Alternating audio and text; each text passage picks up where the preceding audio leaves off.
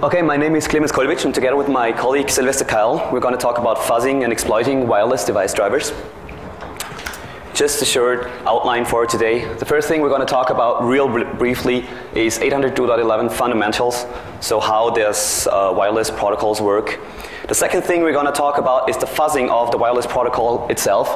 Uh, there are several issues uh, connected to that, and we're going to talk about how we might overcome these. And that's the third point, actually, what we call virtual 802.11 fuzzing. That's our new approach to do the fuzzing itself, and we're also going to have two short demonstration of our new tool. And as a fourth part, as the last part, uh, Sylvester is going to talk about how we could maybe exploit the things we find with fuzzing in kernel mode. Okay, to give a short introduction, of course, first of all about ourselves. Uh, right now we're two students at the Technical University here in Vienna. Um, we ought to be working on our uh, master's theses, like Engin probably knows, but we have quite a lot uh, else to do.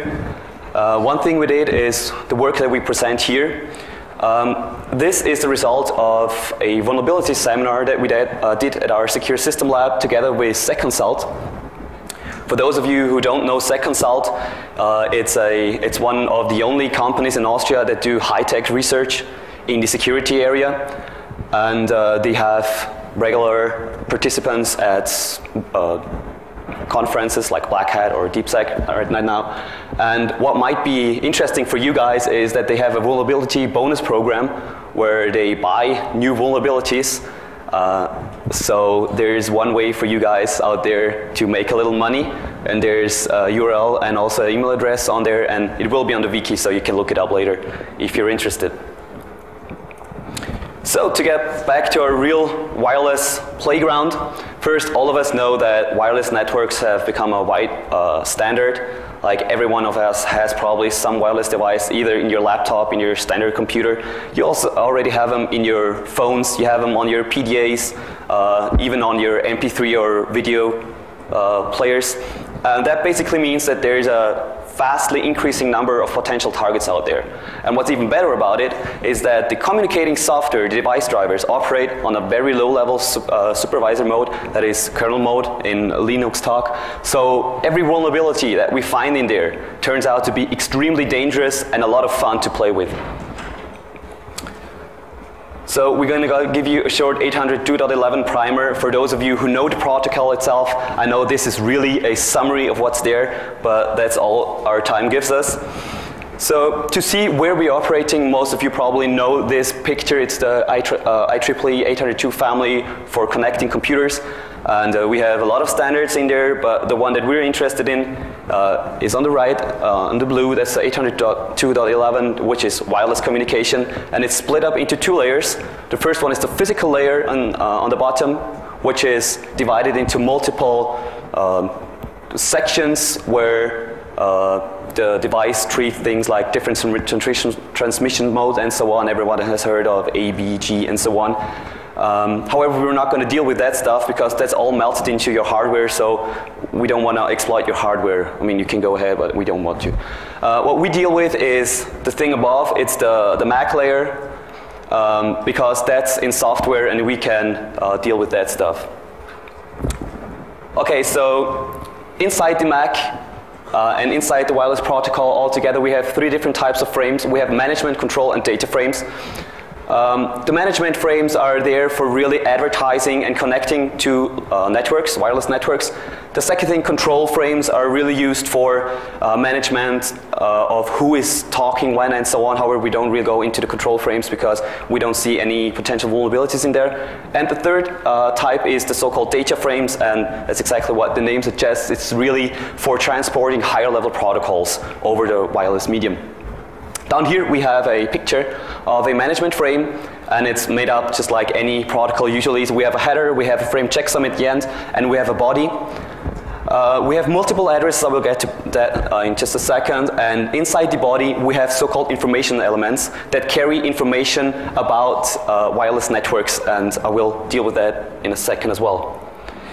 So here we have uh, what, we, uh, what is called the wireless states. We have three different states which basically um, divides um, the types of packets that might be sent over a network. We have state one where um, both devices don't really know anything about it uh, or about each other. We have state two where they have little knowledge about each other and then in state three we have full knowledge of both devices and they can uh, transmit higher level protocols. And how all that works can be seen in the, the what's so-called association of two devices. Uh, in this example, we have an access point on the left and a station on the right. And I will just show you how this uh, works out, how they can connect to each other. The first thing we have on the left side, on the access point slide, we have that the access point is sending out so-called beacon frames. A beacon frame is nothing else than a management frame that contains uh, information like, uh, hello, um, there's a network available, its SSID, its network name is I don't know, my network. Uh, I'm talking on channel 9 and uh, I support the following rates. So that's all there is about this beacon frame. The second thing that that is there is the station's uh, first thing it can do to get a connection is send out a probe uh, request. Uh, it's again a management frame of a special type, and it just says, uh, hi, well, um, I want to know more about your network. So when the access point gets a probe request, it will reply with a probe response, and again, including the data that was in the beacon frame, and it might add some additional information. But basically, a probe response is nothing else than a beacon frame, uh, but sent out as a reply to a request. So when the station, for instance, my laptop says, hey, I want to connect to that, uh, to that uh, device or to this network, it sends an, out an authentication frame. The authentication frame is basically, uh, hi, well, my MAC address is something, and here's sequence number one, and if the access point wants to build up a connection with that station, it just sends back, yeah, hi, there's this my authentication, there's sequence number two, and this is my MAC address. Although authentication might sound something like security, it really has nothing to do with it. It's really just exchanging MAC addresses and sequence numbers so they have a starting point to build their connection on. So as soon as this authentication has been done, we're in what we saw before called state 2. This is uh, authenticated but not associated. So the next thing that has to take place is the association itself. Again, it's a, a request from the station uh, basically saying, well, I know your MAC address, hello, Mr. Access point, I want to connect to your network. Um, here's the parameters you might know uh, need for authentication. Um, and if the access point uh, wants to build up the connection, it again replies with an association re uh, response welcoming uh, this new station in the, uh, in the network. Right now, after this association, we're in what we saw before, state three, where we can send higher level protocols that might be UDP, IP, uh, IP, UDP IP, TCP IP, and so on.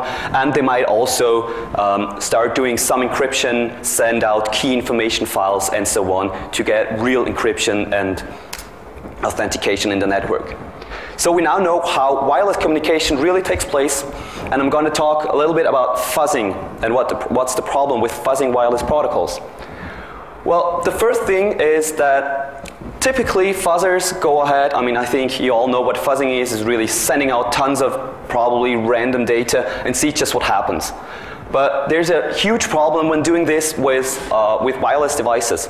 There's been a, uh, some or even a lot of talk at the Black Hat Europe this year uh, about fuzzing wireless device drivers. Uh, but they really stated some issues they simply couldn't deal with. One thing was the frequency channel problem. Whenever a laptop sends out a frame, for instance, probe requests, uh, saying, well, are there any uh, networks in the area? It sends out this frame at a particular frequency. And if it doesn't receive anything in a few microseconds, it will change the hardware frequency to some other frequency and then send the packet again. So whenever you send out uh, some fast data at frequency channel 1 and laptop is in frequency number 3 because it's constantly iterating through all frequencies, you're just missing tons and tons of data and you don't even know it.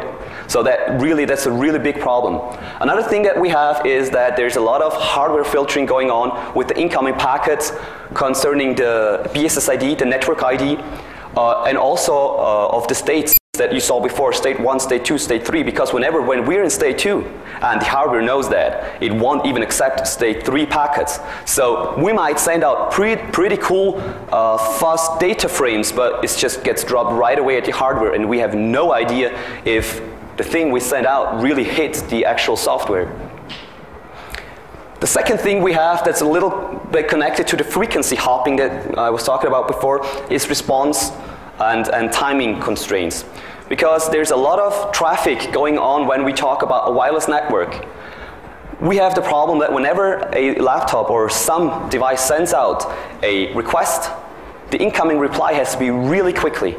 So they, there are timestamps in each single frame, and as soon as a incoming packet comes in too late, the hardware just drops it. So again, we have the problem, did the fast packet really go up into the software, or was it dropped in the hardware? And um, so that's another big problem we have. And there has been uh, attempts to really parse incoming data with a laptop in monitor mode, really look at the packet and inject uh, reply packets, and that's just too slow, it just doesn't work. Another thing we have with wireless communication is the problem of overloads, interference, packet corruption, and so on. We have a frame checksum in management frames. As soon as there are two packets at the same time in the air, the hardware will drop the packets right away because the frame checksum is just wrong. We might have multiple wireless networks in the air. I mean, how many uh, networks are available at your home? You know, there's probably three or four. Everyone uses some unencrypted, right? So we have a big problem of packet corruption. And that's another thing. And the last thing we have on the slide there is not really an issue of wireless uh, fuzzing, but a fuzzing altogether. We have the problem that we're really bombarding a target with packets, but we never really know when it crashes what was the last packet that really made it into the driver or into the software that we're attacking. So monitoring a target is really always a hard thing to do, especially if you don't know which packet made it into the software and which didn't. And as last thing, we have a kernel mode uh, fuzzing right here. So how do you debug kernel mode things on a remote target and make it easy, make it fast, and so on. So we have a lot of issues that we have to deal with. So another thing we have to ask ourselves is what do we want to fuzz?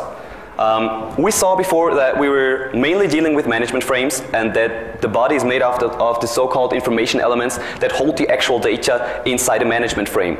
Those information elements are made up of the type length value pattern and you can see it down here, uh, maybe some of you know, but basically it's just the first byte or the first couple of bytes, fixed length, saying what, what is this information. The second couple of bytes say the length.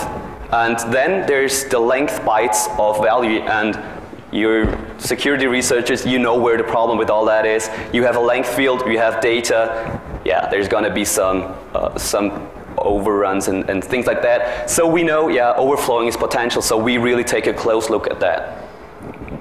So here we have the example beacon frame I was talking about before. Here we see we have the header on the left top, we have a, a frame control which basically says this is a management frame, it's of type beacon and so on. We have a ID because we need that in protocols. We have three addresses. One is the source, where is it coming from? One is the destination, where is it going to? And the BSSID is usually the MAC address of the router that is uh, responsible for sending on packets because two laptops might not reach each other, so they send it to the router and it will just forward it to the, to the next router. We have the frame checksum at the end, and here we see the body. I, we have a timestamp time that I was talking about before. That's why we have the timing difficulties uh, and some additional information. And then we have three information elements. The one at the top is the, BSS, uh, the SSID, which says, well, it's ID 0, it has 9 bytes, and it's just characters, just saying my network. The second one is the supported rates. So in the beacon frame, the access point saying I can, uh, I can talk to you on rates 11, 14, 21, and so on to, to 54 or maybe 100 and whatever is possible nowadays. And the last one is just ID I think it should be, say, ID2, uh, which says, well, I'm com currently communicating and, uh, in frequency 9, because you could receive uh, a higher frequency because, you know, you can never send it exactly at one frequency, so you know exactly where uh, this communication is taking place. Okay, so we heard about wireless communication, we heard, heard about the protocols, and we had heard about the problems we have when fuzzing with it. So we came up with what we call the virtual 802.11 fuzzing. And for our new approach, we took the requirements I stated before just to sum them up once more and try to overcome these. So the first one we tried to eliminate were the timing constraints. We don't want to be or we don't want to have to be fast to reply to a packet. This is one major requirement. The second one is this unstable wireless medium. We don't want to send out packets and being uh, and them to be altered while they're sent. There might be a microwave standing right next to it and it will just be total crap, whatever the hardware is receiving. So we don't want to, uh, that. The third thing is a very uh, uh big point for us is we need guaranteed delivery. Whenever a fuzzer sends out a packet, we want to make sure that this one packet makes its way into the device driver. There is no need for this packet if it's dropped at the hardware and we don't know. We might be sending hours and hours of data and it never reaches uh, our target. So we need guaranteed delivery and like I said before, we want additional advanced target monitoring uh, in our new approach. And the solution was to move the target, the fast target into a virtual environment, into a virtual machine. So why do we do this and what are the advantages of doing so? Well, the first thing we have is our virtual wireless device, which is written in software. We have a virtual machine that's emulating a piece of hardware and to be honest, this piece of hardware on our laptop is nothing else than a black box. We send something in and we hope that something's coming out of it, but we have no idea what's going on. So since this virtual wireless device is a piece of software, we can use high-level inter-process communication to do the transmission, the injecting, and so on of our data. So basically what we do when a fuzzer wants to inject a packet, it just tells our wireless device, please inject this using shared memory, and then afterwards uses a set of semaphores to say, okay, what did you do with the packet?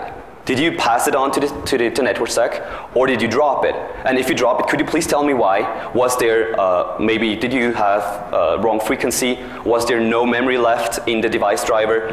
Or was it a corrupt packet or something? So we can really query our device and find out what happened to our packet.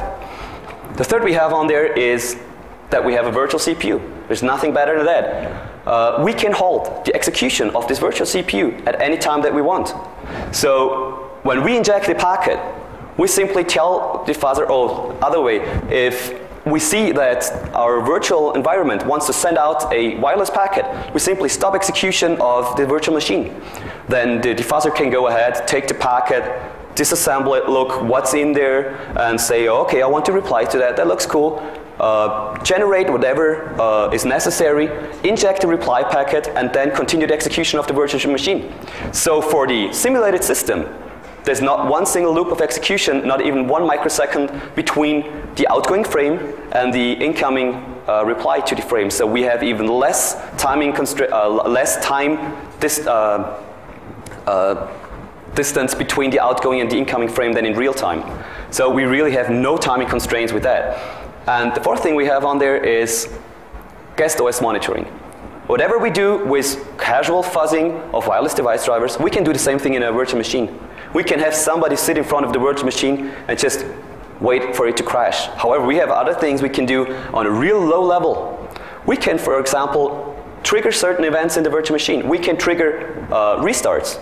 We can tell our fuzzer, whoops, system just restarted, tell our fuzzers about it. We can hook our graphic cards, it's virtual, it's all software. So we can take a look at some pixel and see, whoa, it just turned blue. Look at the whole screen, well, everything's blue, oh, there's a blue screen of death. We can also really just simply pipe out the text that's being sent to the, to the graphic cards and see, well, there's a print K, there's a kernel panic. That's obviously a system crash. So we can really hook system events and tell fuzzer about it. We can go even further and install hardware breakpoints into well-known code areas. For example, we can install a hardware breakpoint into well-known code areas like the Windows blue screen of death. And before the system even crashes, we can notify our, our fuzzer and maybe even debug the system that's crashing. So we have a lot of additional opportunities with our new uh, approach uh, with a target in a virtual machine. So we have drastically simplified the complexity not only of writing fuzzers, but also of the fuzzing process itself. So our solution, like I said, it's based on a virtual machine, and um, our, our implementation is based on Fabrice Belas Kuemu, which is an open source software, uh, open source uh, virtual machine, and just like any other hardware that you can use to be simulated inside the virtual machine, we have our virtual device as an optional Ethernet card that you can add during nice tune, uh, that you can add during startup with command line options. And during the implementation, we also said, well, we have to stick to a very modular design. We said, well, this virtual device, we shouldn't really make it a fuzzer. We want to have something generic. So we said we have the virtual device only responsible of doing two things. The first thing is synchronize the incoming and outgoing queues of the device driver with a shared memory that other modules can connect to and inject packets and look at outgoing packets. And we also have the virtual uh, device take care of notifying those modules that connect to the, to the shared memory. So we can really tell them, well, go ahead and tell me about system restarts, about injected, about outgoing, uh, outgoing frames, and so on. On the next slide, I have um, a short picture of our system overview. On the left, you can see we have the virtual machine QEMU. We have an operating system running inside. It's either Windows, Linux, or Mac. We only tested on Windows and Linux, but there shouldn't be a big problem porting it to, to Mac. Uh, you have a virtual CPU inside, we have virtual memory, we might have optional Ethernet cards or just any hardware that we want. And we also have a, um, what we call 802.11 fuzzer, which is exactly an Ethernet card. It has the shared memory that outstanding modules can connect to and interact with. And um, down here you can see, well, it, it identifies itself as a, a, a communication uh, 802.11 NIC revision 1, and you will see that in a demonstration later. On the right, you have modules that connect uh, to the virtual device. Uh, we have two basic modules called dumper and listener. They do nothing else than really look at the outgoing packets and just either store them on disk or just print them out in a somewhat human readable form. Then we have the injector, which does nothing else than inject arbitrary data into the virtual device. And we have the what we call stateless fuzzer module. Uh, the stateless fuzzer is basically nothing else than what um, was presented at Black Hat Europe this year. Uh, stateless in this uh, sense only means that it stays in state one, so does not go into authentication, association, or any encryption or any data at all. So this is very basic. However, on those two modules or two types of modules, we have developed uh, access point module and a state full fuzzer module that we're going to deal with on the next slides. So the access point module it's really nothing else than what the name suggests. It's a software version of a real access point. Actually, it's simulating my Cisco router I have standing at home.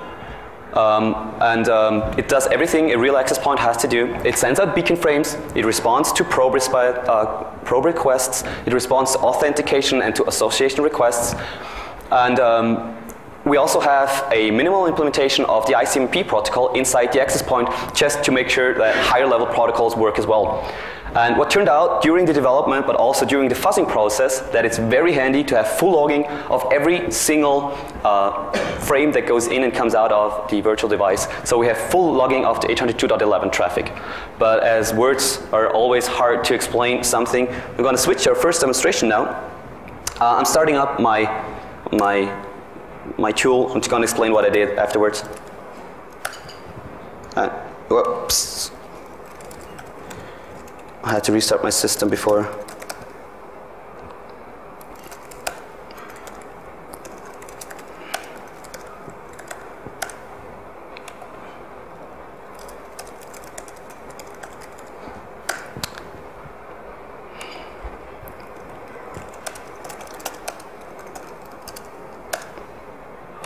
Okay, to show you what I did, I hope you can read it.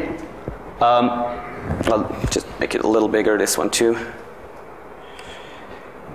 Okay, up here it's a script that I started QEMU with. I see I invoke QEMU with a image I have on my local hard drive and I emulate two uh, network cards. The first one is called of type model RTL 8139. It's a basic network card, standard QEMU implementation.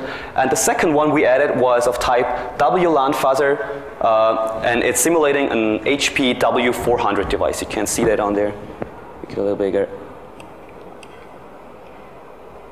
Oh, still can see, it doesn't matter. Um, so uh, I have a virtual device set up and I've also started the listener module over here so it's going to show us what's going on inside the virtual machine. So I have then uh, resumed a snapshot so I can skip the Windows boot up process because as we saw with Jeff Moss it might take hours. Um, and just can continue execution so I can switch to my virtual machine and as you can see down here in my, my hardware manager, there's a RTL 803, uh, 8139 standard network card, and there's also an HP W400 wireless network card that I can use. Uh, okay, there you go.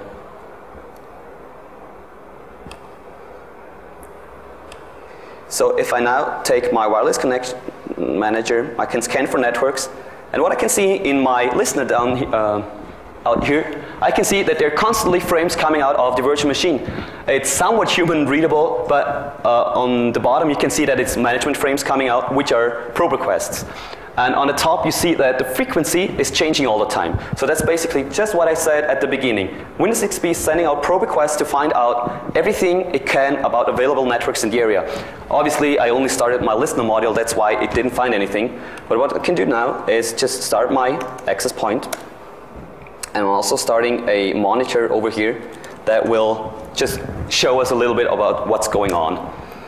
So inside the access point, I can tell it to say, um, I can give it some SSID I want to be announced, say, yeah, Vol 7 sounds good. Say, go ahead, uh, start simulating the network, and in my monitor I can see, okay, it's starting to inject beacons regular intervals. So if I turn back to my virtual machine, I can say, please rescan. And voila, you see, there's a new wireless network connection. So just to have a little fun with it, let's go ahead and connect. Say, yeah, we know it's not secure, but go ahead. You see there's something going on in the background, and you see it's getting IP address down there, and we have a perfect connection. So just give it a few seconds to start the logging.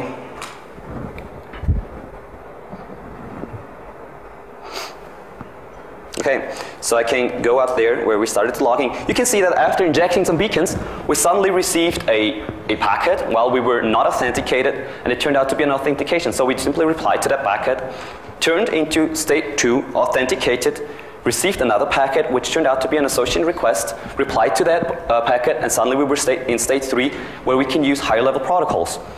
Uh, then there were uh, packets coming out which turned out to be not management, management frames but data frames carrying higher level protocols and they turned out to be uh, ARP requests for 192.168.3.3 which, which is the static IP address inside my virtual machine. So Windows XP is sending out an ARP request just to make sure that it's using a, a unique IP address.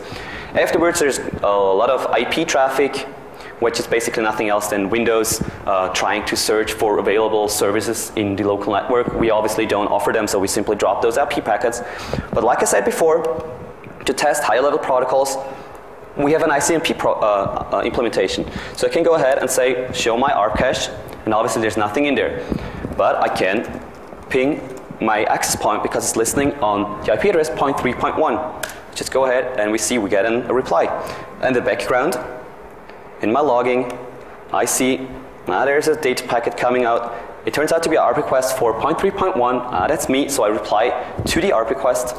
Uh, and afterwards, there's a data packet coming out, which is an IP, an ICMP packet, which I can reply as well. So we see we have full control over the network connection. We don't have timing difficulties. It's really easy to do uh, the communication uh, with that. And having said that, let's just switch back to the to the slides.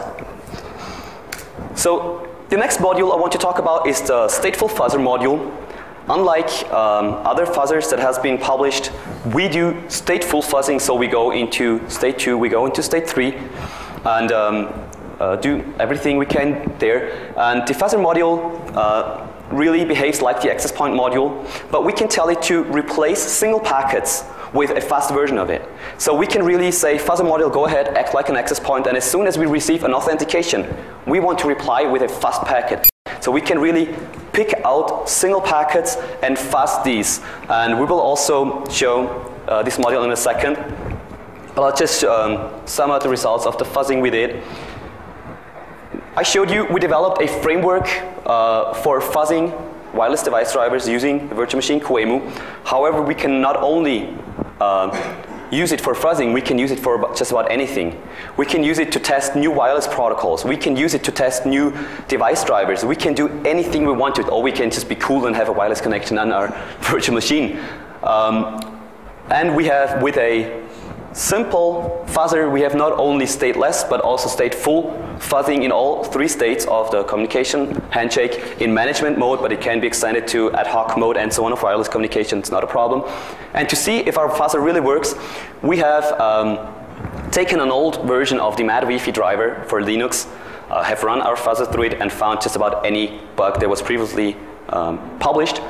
However, the good thing about it was by switching to a new version of MadWiFi, we also found a previously undocumented vulnerability and how easy it is to find this vulnerability using our framework. I'm just going to start the second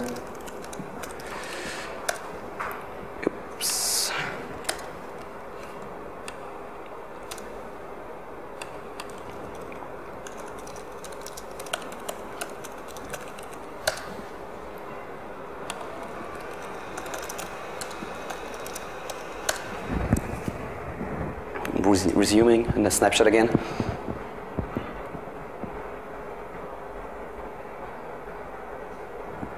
Yeah, it's an old machine.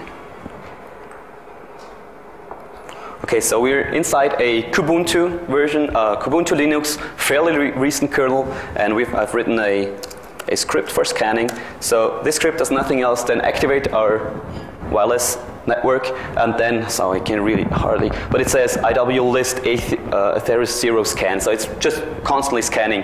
And like I said before, we're simulating an Atheris device, so I can use LSPCI, and I can see down here that we have a network connection, a network card Atheris communication AR5212, just like I said before.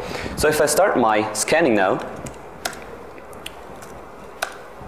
I can see again, well, there uh, frames coming out to search for wireless networks. But this time I'm invoking oops, my fuzzer, and I can tell my fuzzer what do I want to fuzz. I can tell him, well, I can either fuzz beacon frames, I can fuzz probe responses, and so on. I can tell it what do I, how do I want to fuzz it. I can say, for, for instance, I want to fuzz probe uh, responses. Uh, I can tell it how do I want to fuzz the packets. Do I want just plain overflowing or do I want to uh, inject string format vulnerabilities? Just use overflows for now. And I can tell it, like I said before, I can tell it which packet do I want to fuzz. So I can wait for a certain event. I can simply use regular time interval, but I can also wait for a probe response, a probe request to come in. And I can also tell it how often do I want to inject a packet. And since I know that the vulnerability is an information element 48, uh, information element 50, I'm just going to start with number 48 and just invoke the fuzzer. You can see there's scanning going back there, and I see, okay, there's, we first information element number 48, nothing happened. I inject beacon, so right now I'm waiting for a probe request to come in, and um, as soon as I get one, I I fuzz my information element number 50 and you can see in the background, well, uh, kernel panic and it's even telling me where the problem is. So you see how easy it is to do stateful fuzzing and um, also you can see that my, my fuzzer didn't uh, continue fuzzing because it know, okay, something went wrong.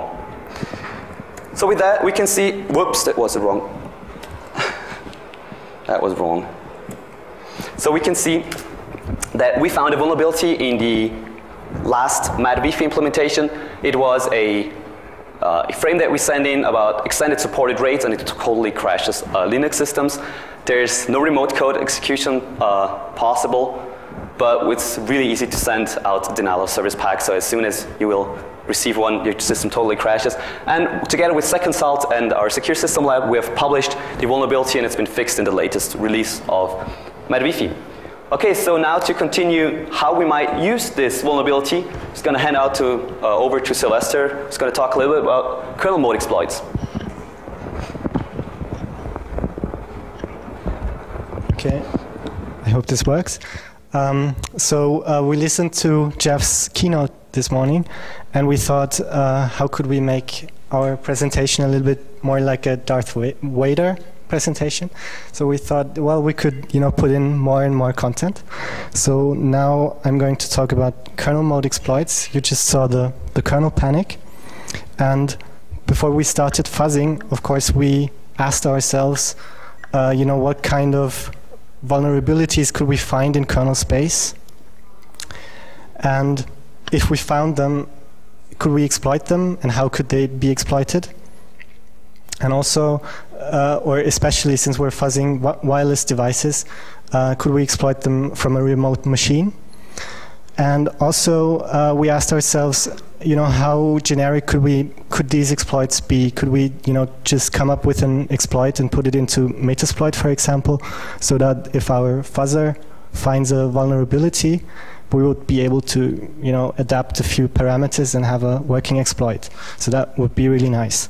Um, so what we did, we started, you know, reading uh, lots of FRAC papers on on uh, kernel mode exploits, and we focused on Linux because we like Linux, and we also had the, or initially only wanted to fuzz the um, Mad Wi-Fi driver.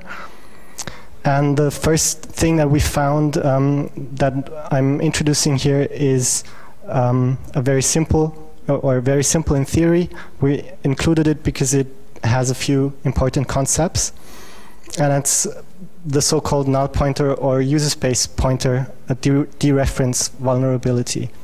And it's basically you have a pointer in kernel space or a stray pointer in kernel space that points into user space. So if that pointer is dereferenced, then uh, something unpredictable is going to happen.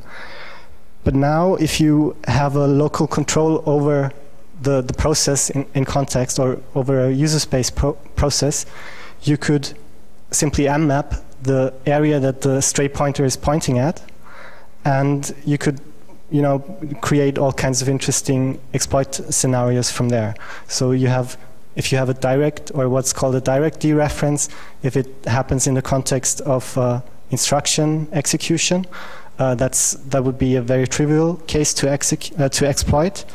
But there are also more interesting scenarios. For example, if you have here in the first line uh, a call to kmalloc. Now, if that call to kmalloc fails for some reason, for if there's not enough memory or if you are in control of the size variable in some way and you can just make it insanely large number, um, and the kmalloc fails and is not checked, you might have a, a null pointer in, in the variable foo. And now, if you know, sometime later, something is written to that or to a structure that is expected to be where foo points to. Now, uh, foo is a null pointer, so uh, it points to address zero. But address zero is, of course, in the user space. And we just tried this out a couple days ago in, in the lab. Um, it's quite funny. You can just, on Linux, map the zero page in a user space process. And so you could you could just mimic the structure that's expected to be there. And of course, if you have control over, in this case, the, the data uh, pointer, you could you know, let it point anywhere you, you want it, and you would have a controlled write. And of course, there are many exploitable scenarios that can um, derive from this. So the next um, class of vulnerabilities that we looked at, or the problem with this class, of course, is that you need a, a local process. And, you know, for us, if we think about fuzz or exploiting wireless devices, we don't have that. So we looked at something else, uh, heap overflows. Uh, we had this talk uh, yesterday about heap overflows.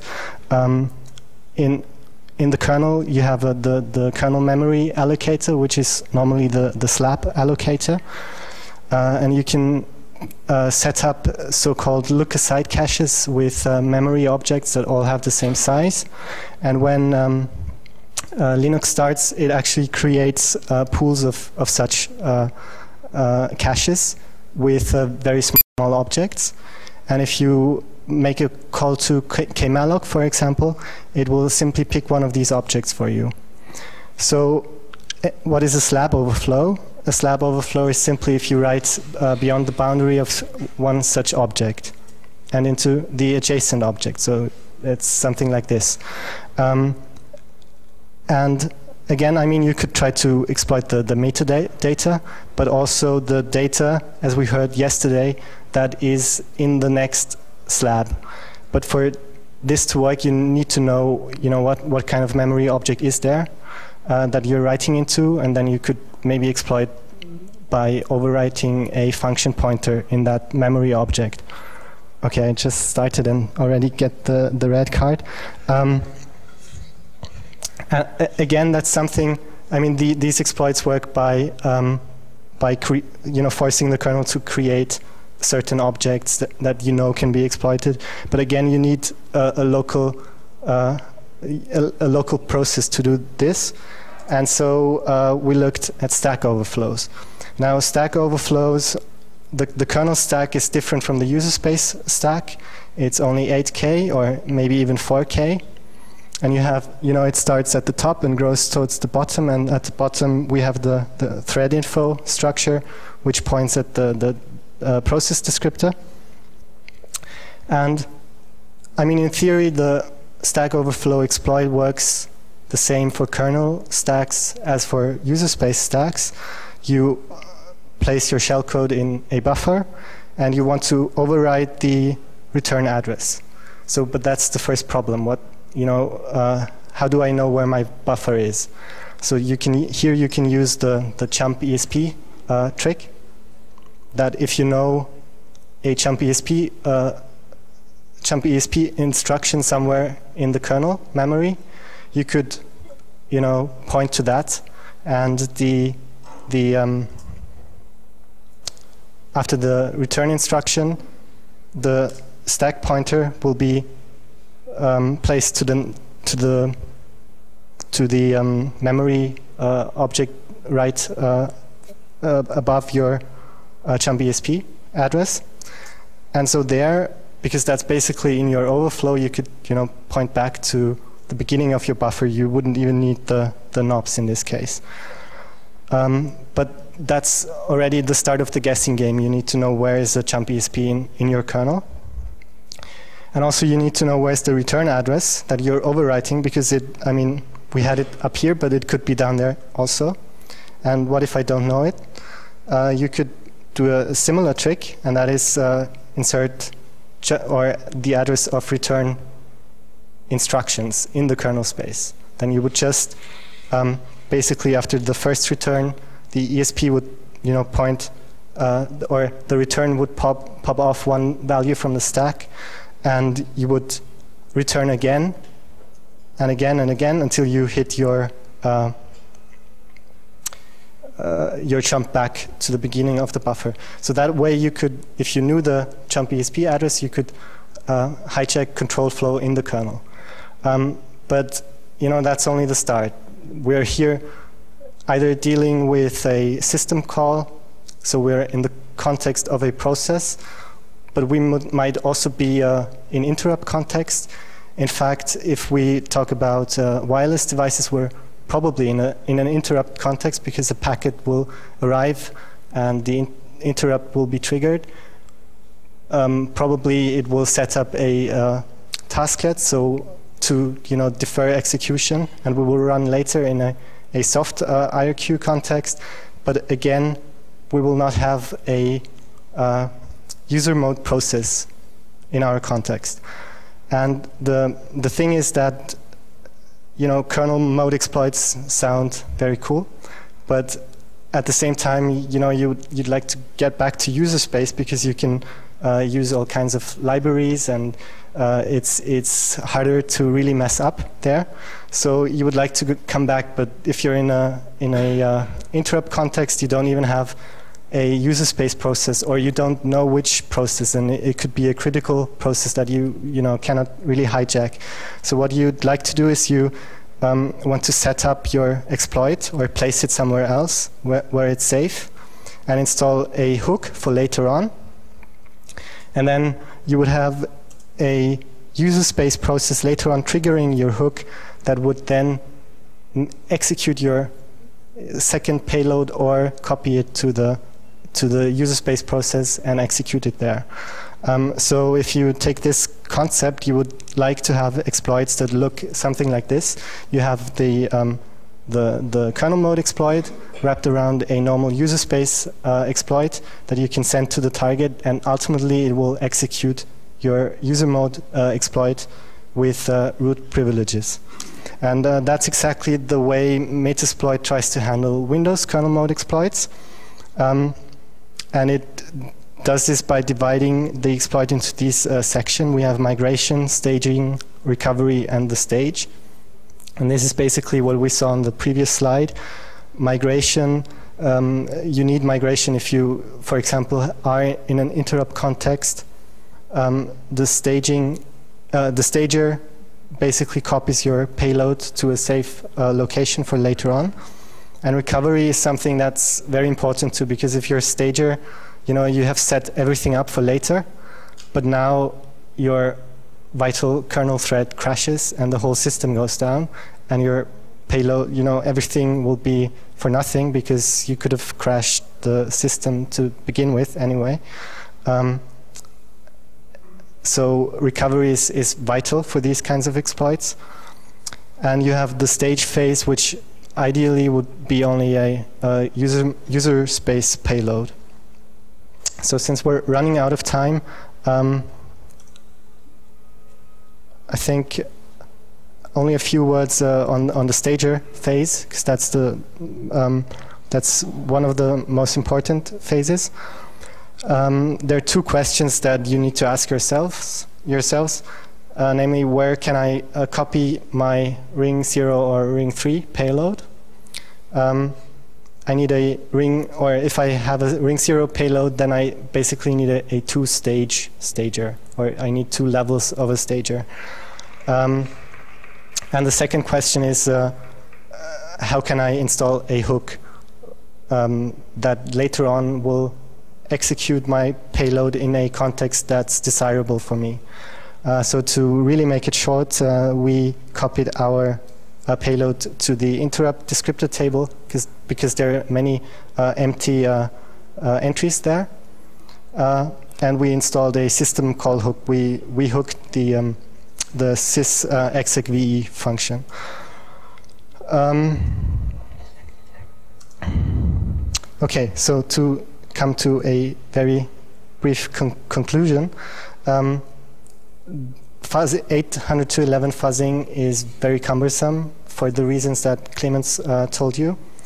Um, by moving the target into the virtual environment, uh, a lot of things get easier. The, the downside is that you have to uh, implement the, the virtual device. But we believe that you know, for manufacturers, for example, who have all the, all the specifications of their hardware, this would be easy. Um, and then, as I hope to have shown you, that kernel vulnerabilities are not too different from user space uh, vulnerabilities, but to exploit them is more complex simply because you have to, be, because of the complexity of the kernel itself, and it's easier to mess up in there. Um, and it you know, it might be able, or it, it is possible to write generic exploits, but you still have a number of parameters that are really important. For example, the, the address of the jump ESP, uh, it gets more complicated with uh, the recovery. And in all the cases, you, you know, you need to know really in, in what kind of uh, situation does my uh, exploit occur. Uh, so, um, you, you know, re really every vulnerability is a story of its own. Um, here we have put in a few references, uh, QEMU that we used in, in the demo, and a uh, paper in the most recent um, FRAC edition, which gives you a good overview over kernel exploits. And if you check the references, it also has many interesting references. Uh, and finally, we'd like to take this uh, opportunity to thank our teachers, Chris and Engin, Engin right here at the back, uh, who are really cool teachers, and our advisor at SecConsult, Bernhard, who uh, owns the, the web hacking server out there and is also really good at uh, the Wii bowling, I'm told. Uh, so he really helps us a lot too. Uh, yeah, and so now we have hopefully a few minutes before lunch to answer a few questions if you have any. mean, uh, just one question. What we don't catch in these cases uh, when, we, when we are doing this virtualization is uh, cases where you have problems in the firmware of the driver. We already have seen problems like that. Uh, so um, I think that's a, major class of problems you, you can't catch with this, this. No, I true. Yeah, actually, we introduced new problems like that because we have to reverse engineer the firmware Yeah. and then uh, deal with it. But like I said before, we have those two layers, the physical and the Mac layer, and we only concentrate on the Mac layer because that's what we can exploit on a broad variety of, of drivers, maybe. But yeah, you're right. It's we don't get. So, the, um, but that's also you know we're just dealing with the the software driver anyway. So. Another question. Uh, many drivers have firmware, for example, the Atheros driver, the MacWifey driver, uh, has parts of the firmware not in, as a firmware image, like most drivers have, but uh, in the as a, as a uh, closed source. But not not much longer though. Well, no, they they um, just gave, made the announcement in September, end of September, that, that they're changing over to the OpenHAL version. Uh, there were some allegations that the the OpenHAL version used illegal parts, you know, from Atheros, but but basically they had uh, investigations, and it came to nothing. So now they decided, you know, to go all open source. But still, that doesn't really, uh, that's not really a problem for us because even if there's a problem inside this binary-only version, we already find that. it. Yeah, exactly. It, it crashes, and we know, and we can do some reverse engineering on the that means binary. if version. you have to know exactly what the driver does. Well, we're we're fuzzing Windows drivers, and we have no idea of the source code there, so we're fuzzing everything. Yes, so that's but this means you, you have to, to, to have some knowledge of the, of the hardware. Well, you, you need to do reverse engineering basically, but that's the that's the why we believe it would be more easy for, or easier for the vendors themselves. Yeah, that's actually, uh, you know what I started doing when I walk around in this room? I see, oh, there's a, a laptop from somewhere, and I, oh, I know that's an Atheros card right here. Just because I've started looking at laptops and, and I see, okay, well, I see some somebody there with an HP laptop, it's Linux, so I gotta start my I hope it's a patched version. If, if any laptop crashes this afternoon, I'm sorry. We did. Um, I mean, we you know the the vi- virtual fuzzing. Of course, we tested it, you know, in in real life. and it's so easy to start programming. Yeah. So that's the funny part about it. So you verified uh, with real hardware before uh, Exactly. uh, giving Yeah. a bug to Yeah. To- We didn't Yes. find any uh, false positives that crashed on the virtual machine, but not in real life. But we tr- tried everything, uh. I mean, if we you know find a uh, or if the the system crashes, it might be because something in the virtual device is wrong. Of course, so you need to verify with the real hardware. But it's a matter of minutes, seconds. Any other questions? Yeah. What, uh, you, you said that you didn't find any false positives. Yeah. Did you find any false negatives? Where, uh, um, well, Well, you already know, of course, but uh, I mean, um, uh, there is situations where, because you control the timing uh, so efficiently on your virtual machine, where uh, in reality you can't really exploit it because you can't get the timing that right, or well, you could, but the chance of that happening well,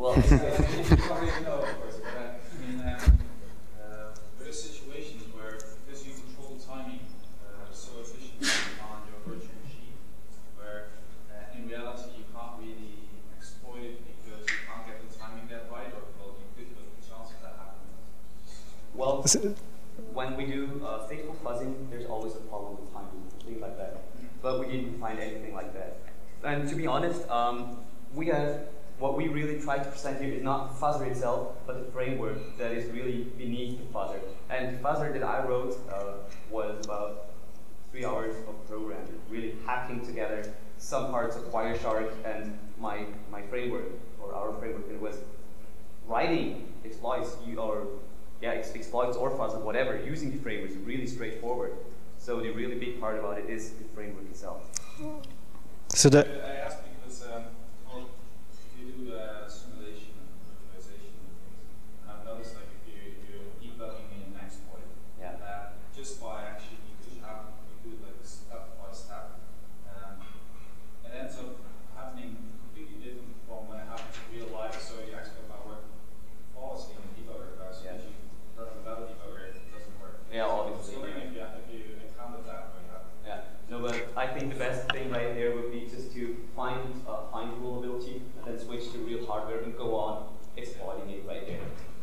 But also because you're not trying to find the exploit in the first step anyway, but just the vulnerability. I mean, if you find something and you know you investigate and then you find out that you can't reproduce it, um, you know, it's still